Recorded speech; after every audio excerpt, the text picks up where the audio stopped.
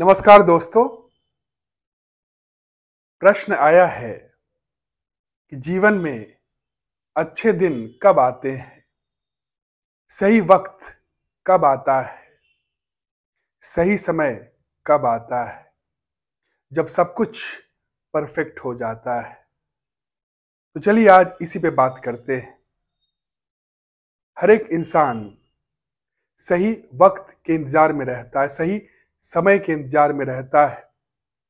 सही सिचुएशन के इंतज़ार में रहता है। वो परफेक्ट सिचुएशन जब सब कुछ उसके अनुकूल हो, उसके फेवर में हो। और बचपन से जवानी तक वो गुजार देता है। ये सोच के जब जवानी की अवस्था आएगी, तब सब कुछ उसके अनुकूल होगा। वो परफेक्ट सिचुएशन होगा। वो घड़ी ही अच्छे दिन की घड़ी होगी।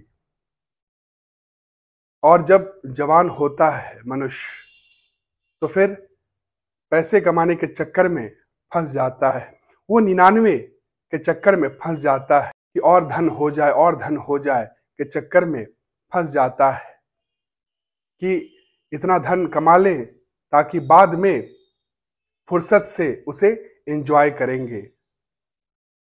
ये इंतज़ार में वो पूरा जवानी बिता देता है और जब बुढ़ापा आता है तो बुढ़ापा अपने में एक बीमारी होता है। और जब अंतिम घड़ी आती है तो मनुष्य जो कमाया हुआ पैसा है, उससे भी सौदा नहीं कर पाता है समय का।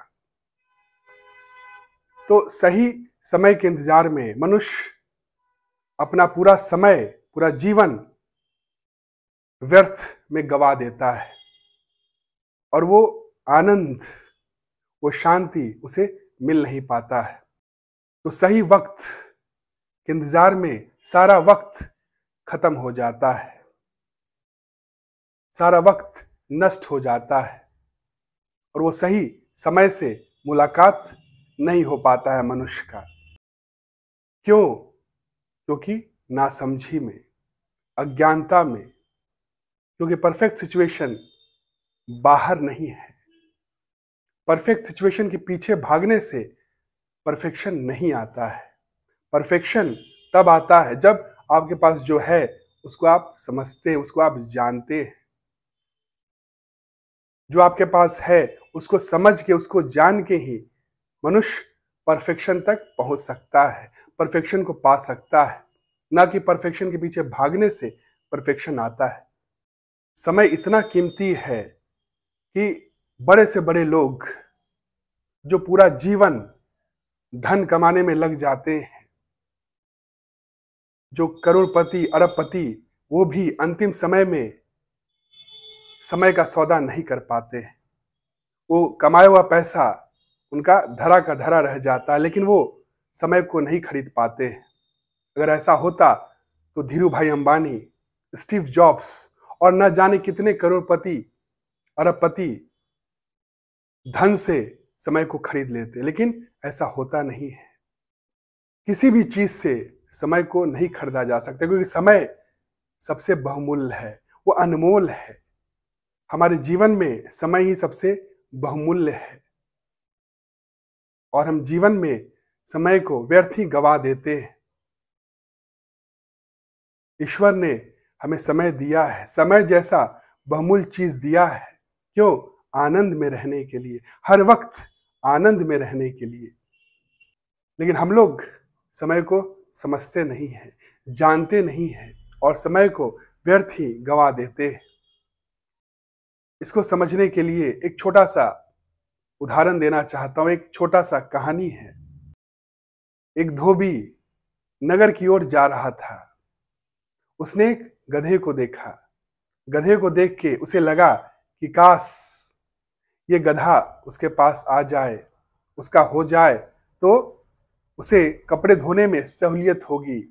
वो जो कपड़े खुद लेके नदी के पास जाता है धोने के लिए, अगर गधा आ जाए, उसके पास गधा, उसके पास एक हो जाए तो वो उसके ऊपर कपड़े लाद के नदी के पास जा सकता है और कपड़े धो सकता है। तो वो इधर उधर देखने लगा, उसे कोई भी आदमी नहीं दिखा।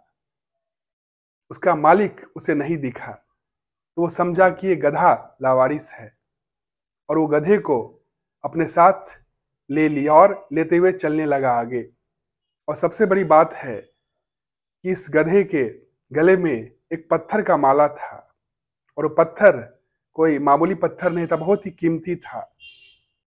लेकिन धोबी उस पत्थर को पहचान नहीं पाया और उधरी से, और उधरी से एक जौहरी गुजर रहा था।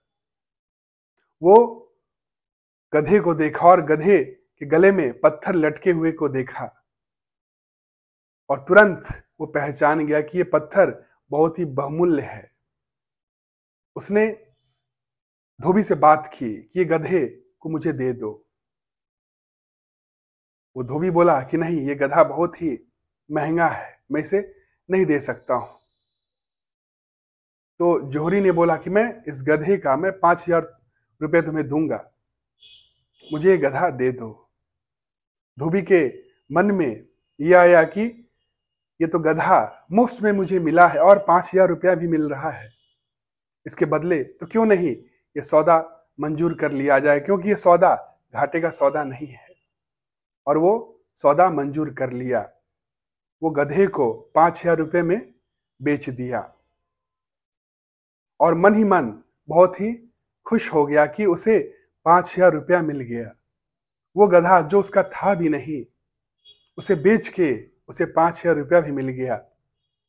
लेकिन जैसे ही वो आगे बढ़ता है, कुछ दूर आगे बढ़ता है तो देखता है कि वो गधा फिर वहीं पे खड़ा है। और जौहरी वहाँ नहीं था। तो ये देख के उसे आश्चर्य हुआ कि कैसा पागल आदमी है कि पैसा भी दे दिया और गधा भी नहीं ले गया, गधा भी छोड़ दिया।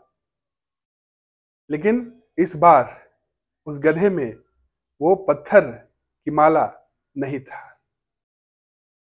लेकिन धोबी ये पहचान नहीं पाया। तो हम लोग भी उसी धोबी की तरह हैं, जो हमारे पास है, जो हमारे पास कीमती चीज़ है, जो खजाना भगवान देते हैं, जो ईश्वर देते हैं, उसको हम लोग पहचान नहीं पाते और उसका सौदा बहुत ही सस्ते में कर देते हैं। समय, वक्त जैसा कीमती कुछ नहीं है। आप कितना ही पैसा कमा लो, लेकिन पैसे से आप समय को नहीं खरीद सकते हो। समय बहुत ही कीमती है, बहुत ही बहुमूल्य है। और ईश्वर ने हमें समय दिया है, हमें वक्त दिया है जीने के लिए, हर वक्त आनंद में रहने के लिए।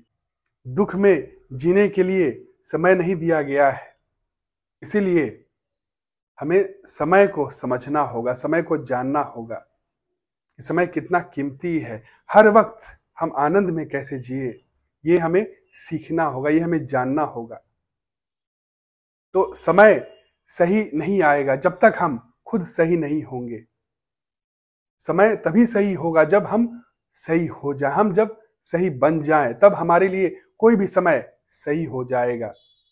लेकिन अगर हम गलत हैं तो समय भी हमारे लिए गलत ही होगा। परिस्थिति भी हमारे लिए गलत ही होगा। यह ऐसा ही हुआ जैसे अगर हमारे चेहरे पे धूल लगा हुआ है तो हमारा प्रतिबिंब जो आईने में बनेगा, वो भी सही नहीं होगा। सही तभी होगा जब हम सही हो जाएँ। हमारे चेहरे से धूल हट जाए, तभी हमारा प्रतिबिंब जो आईने में बनेगा, वो भी सही होगा।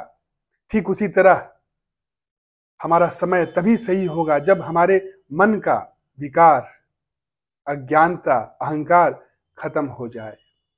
जब तक मन में विकार है, अज्ञानता है, तब तक हमारा समय सही नहीं होगा। हमारे दिन अच्छे नहीं होंगे, हमारा परिस्थिति अच्छा नहीं होगा। और जब मन साफ़ हो जाता, मन अच्छा हो जाता है, तब हमारी परिस्थिति भी अच्छी हो जाती है। परिस्थिति हमारे मनस्थिति पे आधारित होता है। हमारा मनस्थिति कैसा है, उसी पे हमारा परिस्थिति निर्भर करता है। और हम सही कब होंगे? जब हम आत्मा के भाव में जिएँगे। जब हम मूल स्वरूप में आ जाएँगे। जब तक हम शरीर के भाव में जिएँगे, तब तक हम अहंकार में जिएँगे। तब तक हम सीमा के भाव में जिएँगे। सीमा ही बंधन है। सीमा को ही एक्सपेक्टेशन होता है। क्योंकि सीमा इम्परफेक्शन है। इम्परफेक्शन में ही एक्सपेक्टेशन होता है बाहर से। पूर्णता के लिए सीमा ही बंधन है।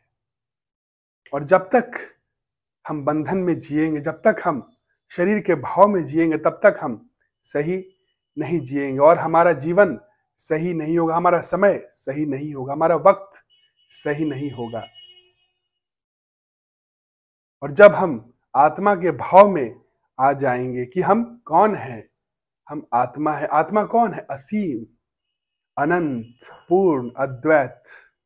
उस भाव में अगर हम आ जाते हैं, तब हम पूर्णता में जिएँगे, मुक्ति में जिएँगे, बंधन में नहीं जिएँगे। और पूर्णता में एक्सपेक्टेशन होता ही नहीं है। Perfection is the end of expectation from outside perfection में आपका एक्सपेक्टेशन अपेक्षा समाप्त हो जाता है। वही पूर्णता है।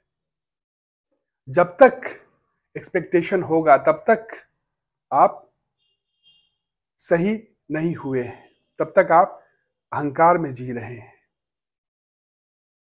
शरीर के भाव में जी रहे हैं। अभाव में जी रहे हैं, बंधन में जी रहे हैं और जब आप आत्मा के भाव में आ जाते हैं, तब आप परम शांति, परम आनंद की अवस्था में आ जाते हैं। आप सही हो जाते हैं और जब आप सही हो जाते हैं तो आपके लिए हर समय, हर काल सही हो जाता है। फॉर एग्ज़ाम्पल उदाहरण के लिए, भगवान राम के जीवन में बहुत ही प्रतिकूल परिस्थिति आया, लेकिन वो हर परिस्थिति में अनुकूलता से जिए। क्यों? क्योंकि उनका मन साफ़ था, आत्मस्थित था स्थित प्रज्ञ थे वो। आत्मज्ञानी थे जीवन मुक्ता थे। और जीवन मुक्ता वो होता है जो मुक्त होके जीवन जीता है। मुक्त मतलब आत्मा के भाव में जीना।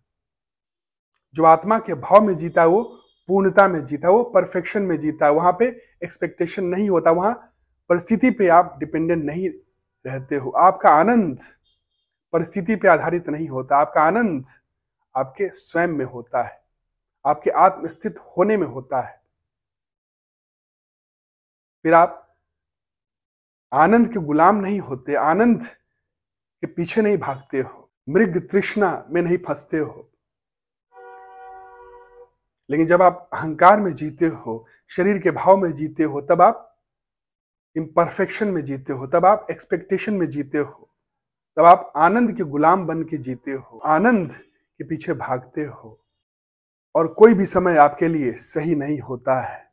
और और वही रावण के साथ हुआ। रावण के पास सभी संसाधन था।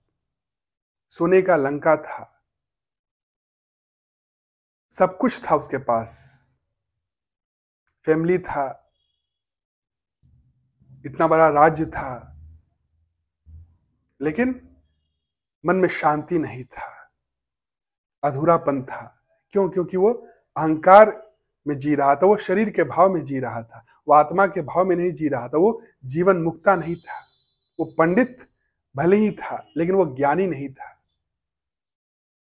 पंडित और ज्ञानी में बहुत बड़ा अंतर है।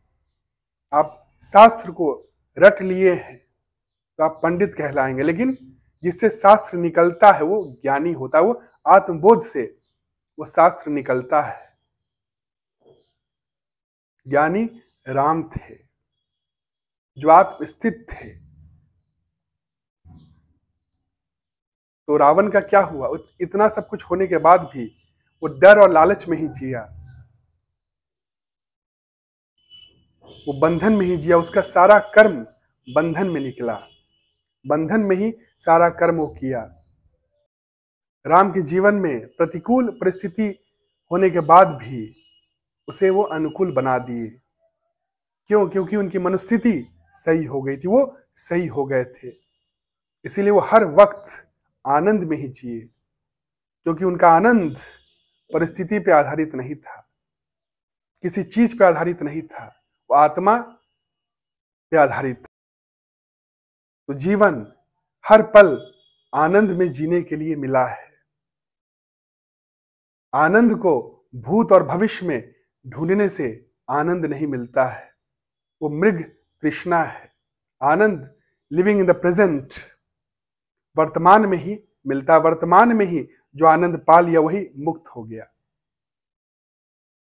और वो कैसे मिल सकता है? वो आत्मबोध से मिल सकता है। जब तक हमारे पास है, उसे हम पहचानेंगे नहीं, जानेंगे नहीं, तब तक हम परफेक्शन, पूर्णता को पा नहीं सकते हैं। सारा खेल ही अज्ञानता का है। अज्ञानता में ही मनुष्य के पास अगर खजाना भी होता है तो उसे वो जान नहीं पाता, उसे पहचान नहीं पाता है। उसे वो उपयोग में नहीं ला पाता है। और जीवन भर वो अंधकार में ही जीता है, गरीबी में ही जीता है। ज्ञान आ जाए तो वही पूर्णता आ जाता है, क्योंकि उसके पास सबसे बड़ा खजाना है। वो आनंद है जो वो ढूंढ रहा है बाहर। तो उसके अंदर ही है। वो खुद आनंद है जिसे वो बाहर ढूंढ रहा है।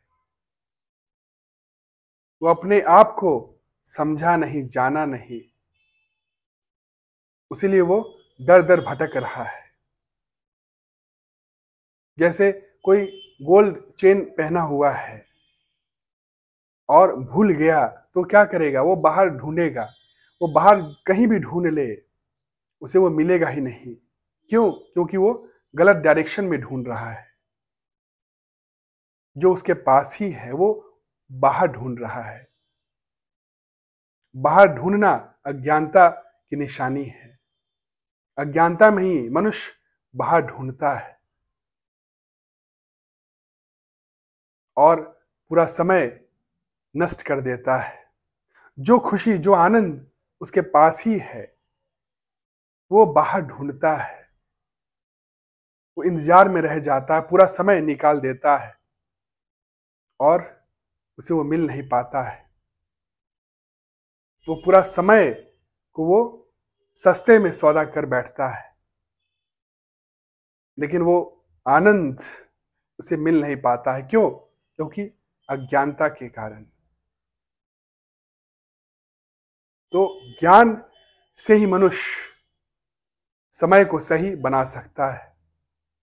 आत्मबोध से ही मनुष्य परिस्थिति को सही बना सकता है। अच्छे दिन को ला सकता है।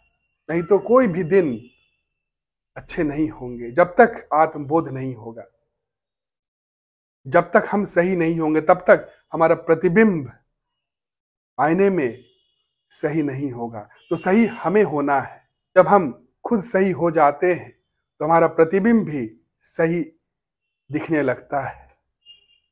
तो सारा खेल मनुस्थिति का है। मनुस्थिति अगर सही है तो समय भी सही हो जाता है। परिस्थिति भी अनुकूल हो जाता है। और अगर मनुस्थिति सही नहीं है तो अनुकूल परिस्थिति भी प्रतिकूल हो जाता है। रावण की तरह। रावण की परिस्थिति अनुकूल थी। भौतिक संसाधन से संपन्न था रावण, लेकिन प्रतिकूल हो गया। क्यों? क्योंकि मनुस्थिति सही नहीं था। मनुस्थिति साफ़ नहीं था। डर और लालच में जी रहा था, अहंकार में जी रहा था, शरीर के भाव में जी रहा था, अपूर्णता में जी रहा था, बंधन में कर्म कर रहा था, डर और लालच में कर्म कर रहा था और वहीं दूसरी ओर राम आत्मबोध में कर्म कर रहे थे। प्रतिकूल परिस्थिति होने के बावजूद वो अनुकूल हो गया। क्यों? क्योंकि उनकी मनस्थिति सही था, साफ़ था, आत्मस्थित था। बंधन में कर्म नहीं था, वो मुक्ति की अभिव्यक्ति था।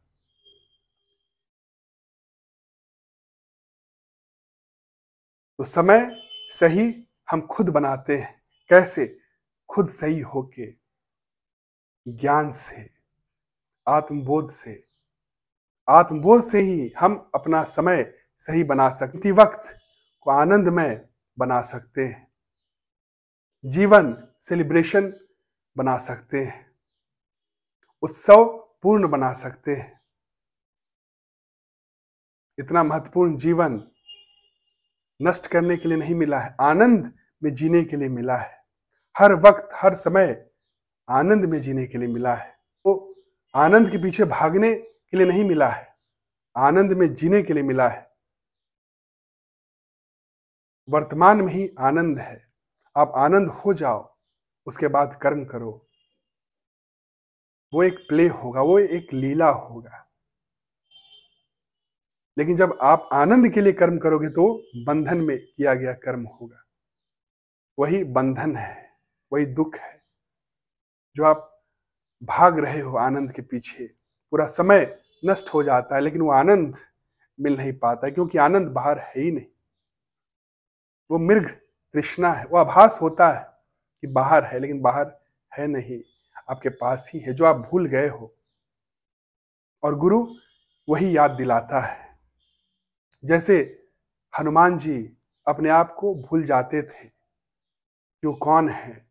तो जामवंत उन्हें याद दिलाते थे कि तुम कौन हो। उसी तरह मनुष्य अपने आप को भूल जाता है कि वो कौन है, उसके पास क्या है। और गरीबी में जीने लगता है, अपूर्णता में जीने लगता है, हीन भाव में जीने लगता है, वहीं पे गुरु आते हैं। और गुरु जामवंत की तरह मनुष्य को जगाते हैं कि तुम विराट हो,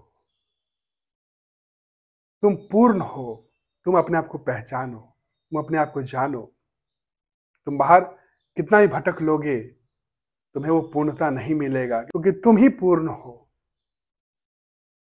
तुम ढूंढ गलत जगह रहे हो। सही जगह पे ढूँढने से ही वो चीज़ मिलता है। गलत जगह पे आप ढूंढते रह जाओगे, वहाँ पे वो चीज़ मिलेगा नहीं।